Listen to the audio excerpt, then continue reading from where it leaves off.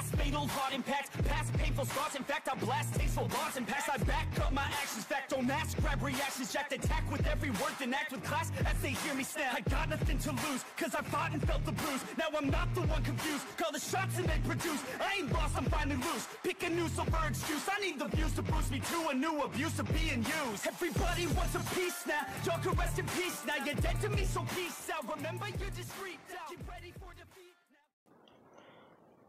Alrighty. Hello, hello everybody. This is Kirusho here. And now. I took my painkillers about an hour ago and, well, I tried recording this. That was a bad idea. So, let's see if I can at least get this part out, well, in underneath an hour. Let us begin. Whenever we last left off, Izuku, he has landed on planet Vampa. Now, to anyone who does not know what planet Vampa is, it is a barren wasteland, sort of. The best way to basically talk about it is it's a world filled with constant storms, hardships, it's very uninhabitable. There's zero agriculture, and if there was a native species on it before, they would have gone extinct now. Since there is no way of farming the land, that I am aware of. Now, there's also monsters, and, well, giant insects, and those ginormous bears that basically lay in the ground, or within the pits, along with various other strange alien creatures. Now, we will cut to Izuku, who is waking up in a cave. As soon as he does wake up, he's kind of confused looking around. As soon as his eyes do somewhat adjust, he begins to see. Hmm? Where am I? What is this place? Him going to get up. As soon as he does, somebody does walk in. My, my, hello, Izuku. Uh, Vados, where are we? This place, it's not the planet of the gods. Oh my, yes, it is not. Listen, you are going to be doing your own training. My own training? Yes. I've, over the past few days, I have taught you certain things about how to control your ki. Your parents already did have a good start on it. You're able to fly and use Ki Blast. Along with that, you're actually beginning to get a good handle on how to properly regulate your power, so as to not overexert yourself. Plus, it does also seem like your little instances of slipping in and out of Ultra Instinct unknowingly have gone down a little bit. Uh, really? How can you tell? Her telling Midoriya that it's quite obvious once you look for the signs. Now, she does notice the faint aura around him sometimes, or at least the small temperature change.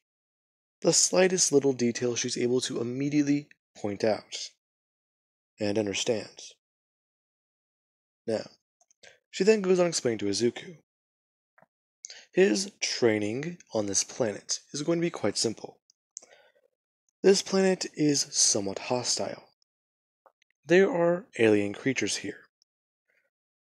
And that he is going to have to reach a certain power level. Once he does, she will come back for him. Now, she then goes on saying that if he does find plants like these, they are unedible. Although that would be quite rare to find them. If you find things like these, stay away from them, stay away from these, these, these, and these. Basically, he's trying to give him a small warning. basically everything's hostile and he's all alone here. And she also does give him a bit of an objective to try and survive and make it to the end of his training. Now, as she then says that, she actually does bring her hand up and tap down her staff twice on the ground. Midoriya running forwards and actually trying to catch her before she disappears, asking her to wait and to hold on just a minute. That being quite surprising. As soon as she disappears, Midoriya, he runs outside and begins to try and look around, calling out her name, Vados! Now, he would do this over and over and over again, thinking that this is just some sort of prank, or that she cannot be serious. She wouldn't just leave him on a planet like this, right? Even then, where are his parents? Where's mom and dad? Are they here too? No, that can't be. No. Midoriya is thinking that he actually does hear something up in the air. Looking up and seeing ginormous animals flying. That actually somewhat freaking him out a little bit. Vados was telling the truth. This really is an alien planet. Him, then watching as a giant green pit, or something big and green in a pit, jumps outwards and immediately smashes his teeth into these creatures, before slowly moving back down. Now, Midoriya, seeing that, is quite shocked. That shock not being able to last very long. As Midoriya begins to hear something, immediately turning around and seeing one of these ginormous bugs. The thing immediately makes Midoriya somewhat scream out in, well, fear. Thinking for a second that this cannot be real, right? That thing's the size of a dog. Midoriya bring his hands up getting somewhat defensive. As more of them begin to crawl out from behind where it was hiding from. Along with the fact that they are now on the walls and they just keep going up. Midoriya, his eyes go from somewhat calm to immediately just shocked and scared before he turns around and tries to start running. As soon as Midoriya runs a couple feet, he hears them all beginning to give chase. Midoriya immediately letting his aura cover his body as he just takes flight. Now, as soon as Midoriya does do that, he begins to try and think. Okay, okay. Vados may have been a bit serious about that. And, as Midoriya tries to think, he does look down feeling something underneath him, or at least a power level shift. Midoriya realizing it's one of those giant green pits. As he looks down, he sees that it's a ginormous mouth coming straight for him. Midoriya immediately throwing out his hands and going to send out a large ki blast. Now, as soon as Midoriya does throw out his hands, he throws both of them out together and sends a large blast in that direction.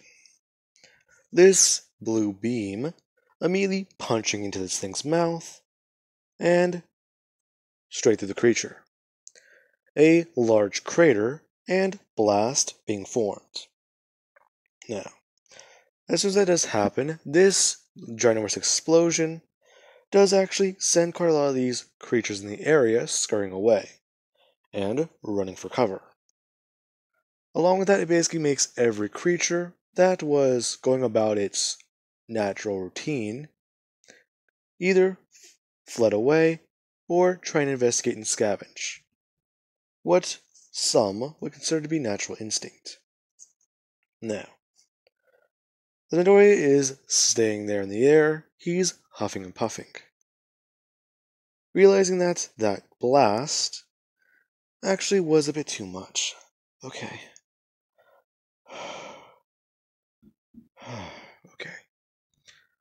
let's see.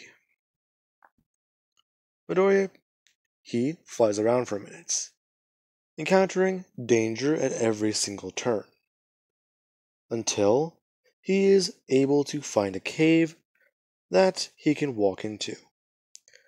As soon as he's able to clear out some of the, well, insects inside, he does sit down and begin to try and think. As night falls, the planet does somewhat become a bit more quiet, except for the howling winds outside. Midoriya beginning to think. This is crazy. Setting down the backpack and actually opening it up, inspecting some of the things that are inside. There's a couple snacks and some actual food in here. Ah, oh, thanks, Mom. Along with him, then beginning to pull out the photo and at least the note. As he looks at the photo, he turns his head to try and read the note. Walking over towards the entrance slowly and trying to keep a listen, using the moonlight to see what is written down. Dear Izuku, Vados has informed us that you are going to be training separately from us. Now, she says that you are going to go through a bit of challenges. Midoriya, think that that is quite an understatement. Now, these challenges you are going to be going through, well, we're unsure of what they are. But do you just know if you have to survive, we've given you some food. We think it might be enough to get through your training, but we can't really be too sure. And if you are on a different planet, well, be careful about certain plants and certain creatures.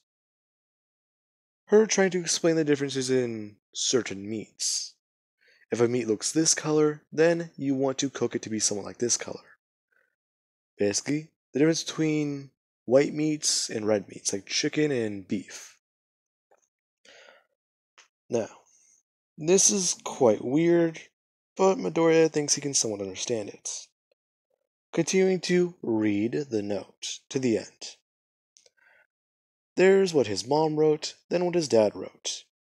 If Midoriya needs to hunt, be sure to try and use Ki Blast. If he thinks that he can take down some giant bat or a giant wolf kind of thing with his bare hands, don't try it. That would most likely get him pretty well injured. Granted, it would probably be a good story to tell, and if he gets a cool scar, that might be a thing.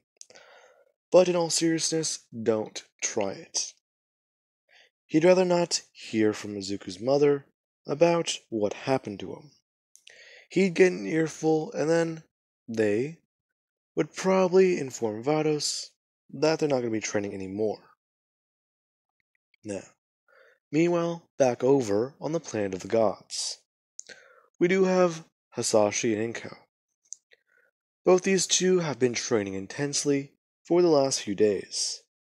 Their power levels jumping from 400 actually somewhere into the lower 700s they've been able to properly learn about ki control and train in a way that benefits them. This training that they've been doing has been more intense than anything they've ever done in their whole lives. Gardening, running around the planet with weights on, you name it. And then, there is apparently something that's the most dangerous task of them all changing the God of Destruction's bed sheets. Now, don't think a lot of people would get that joke. Hopefully, you guys do. Now, back over to Izuku. Izuku, he is sort of cold in the cave.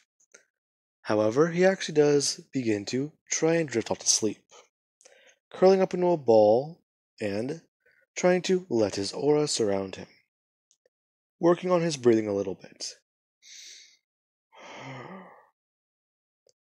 And trying to clear his mind. As soon as Ultra Instinct begins to take over, Midoriya can feel that warmth coming off of his body, and it does somewhat bring comfort to him. Midoriya is staying like that for a few minutes, before he does eventually fall unconscious and into his own sleep, waking up sometime early in the morning to a sound. As soon as he does wake up, he immediately brings his hands up and gets ready to blast away, almost accidentally doing so and bringing the cave down on top of himself.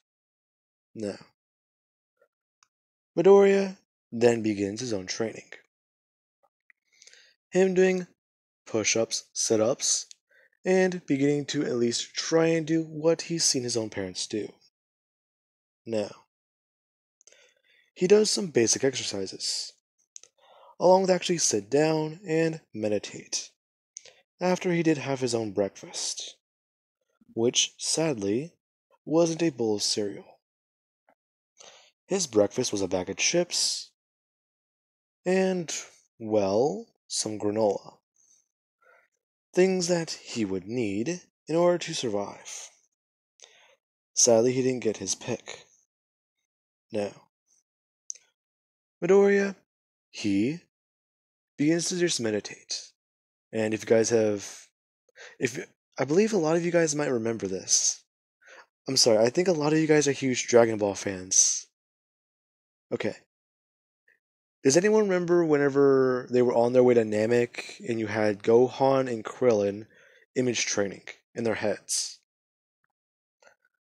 It's basically where if you can't really move around very much and you're in a confined space, you can sort of begin training yourself mentally, your mental fortitude, and further ki control, I believe. Now, Midoriya does try and do that. As he's doing so, he actually does begin to float up into the air and begin to activate Ultra Instinct. His focus being broken whenever a creature tries to enter his cave. As soon as it makes a sound, Midoriya immediately turns and looks in that direction. The creature immediately exploding into multiple pieces. And Midoriya watching as more creatures begin to try pouring in. Midoriya bring up his hands and just begin to blast away at them, and try to take them all down. Now, Midoriya, eventually, with many of these bug creatures flowing into the cave, does actually have to get away.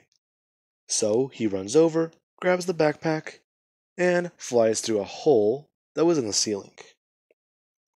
Now, as soon as Midoriya flies through the hole, he almost gets tagged by a different creature. It actually being able to cut into his leg and try and hurt him. Now, Midoriya got away before anything serious can happen. But he did get injured. Him spending the next day, or at least two, running around the planet and trying to train in a safe place. However, he's unaware that this is actually all training that he's doing, running away from creatures and fighting them all at the same time. He's using stamina and making sure not to stay in the same place for too, too long. Now, with that being said, Midoriya, he actually does go to bed in the cold tonight. And his wound does not seem to be getting any better. Vados on the planet tonight, she does watch over Midoriya and begin to see exactly how he is doing. Now, she discovers that Midoriya's wound might have an actual infection. And whenever she did actually walk up to the boy and look at his leg, it did look a bit discolored. Now, Vados then left the planet for a minute before coming back and leaving something inside the cave. She left the boy medicine and some antibiotics along with some actual instructions. Now, Midoriya does wake up the next day, and he has a high fever. Midoriya confused as he actually does look up and see something new. Within a bag, he actually does find some medicine and some rubbing alcohol, or at least a small container of it, along with two notes. One being instructions on what to do with it and how to use it, and another about Midoriya's training. If Midoriya wants to do the best training, he can try heading over to this area of the planet. And he might be able to get some proper training in over there. Now, Midoriya, he follows the instructions. However, he doesn't follow them 100%. After Midoriya disinfects his wounds and takes some of the medicine that was given to him, he actually just stay within the cave for a couple of hours, trying to rest and stay calm. Midoriya, whenever he does get a short nap in, he wakes up in the middle of the night. It's freezing cold. Deciding to leave now before morning since he knows that those bug creatures begin to migrate in certain places now. It seems to be a pattern every time he's in a cave. He gets to a new one, they arrive or show up. Now, once Midoriya does actually begin to travel, in the middle of the night, he finds out that this time is the most peaceful time on the planet. The winds might be howling and basically insane, but it's better than trying to move through a dust storm. Or at least whenever animals and a whole bunch of creatures are kicking up dust. Visibility is a little bit lower, but it's safer. Now, when Midoriya begins to fly around high up in the air, he actually does get a bit curious whenever he's supposed to be heading what he believes to be southeast, he accidentally heads. I want to say he accidentally heads north. Now, whenever Midoriya was heading that way, he actually did discover something. Whenever he was flying by, he did notice a weird shine whenever he passed by something. He thought it was a actual lake, and he was kind of confused. Being able to actually stop and turn around, flying back in that direction. As soon as he did find what he thought was the lake, he's able to get closer and find that it's actually a metal box. Before running his hand over it and beginning to try and uncover it a bit more. Finding out that it's actually some sort of ship, or possibly a room. Now, whenever Midoriya does actually find a way inside, he is quite surprised. This half buried room actually does seem to be empty or at least no living inhabitants inside. Whenever Midoriya does begin to look around and poke around a bit, he eventually does find the one in charge, or the pilot. Whenever he does find the pilot, he finds that they are long dead. The only thing left is a skeleton. Now, Midoriya, he decides that tonight he can probably stay here the sun's going to rise soon. And this place is actually pretty high up. So, if he can stay here the night and he's safe in the morning, then this might actually be a good place to stay. Him, then, actually sitting down on a bench and beginning to get a bit comfortable. Letting his guard down as he begins to relax, looking through his bag and eating, well, dinner.